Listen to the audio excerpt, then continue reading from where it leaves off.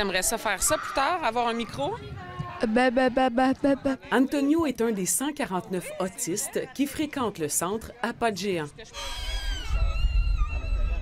Une nouvelle école à l'architecture innovante et surtout un lieu qui offre des services aux personnes autistes de 21 ans et plus. Enfin, disent des acteurs du milieu. On est capable de rendre des services tout au long de la vie d'une personne autiste. Max a 13 ans. Tout au long de la visite des médias, il est avec nous. Il veut nous montrer sa nouvelle école. now we in this new shiny new school.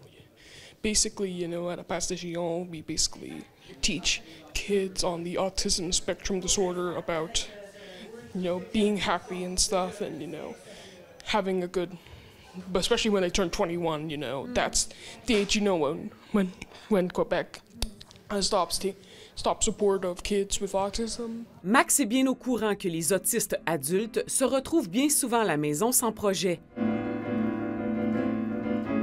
Mais maintenant, dans le nouvel espace autiste et majeur québécois, les jeunes adultes sont formés pour travailler dans des entreprises comme les restaurants Saint-Hubert, l'hôtel Le Reine-Élisabeth et bientôt les Tim Hortons.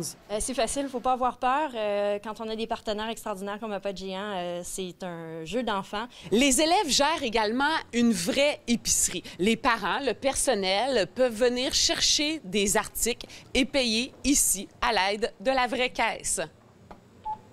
C'est un programme de formation pour les adultes autistes de 21 ans et plus pour se préparer à l'emploi dans le secteur de l'alimentation. Son fils de 15 ans fréquente ce nouveau centre d'autisme.